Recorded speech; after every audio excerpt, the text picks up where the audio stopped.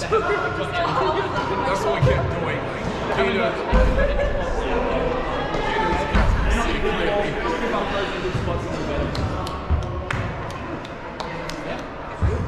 Let's keep going and kick someone's ass.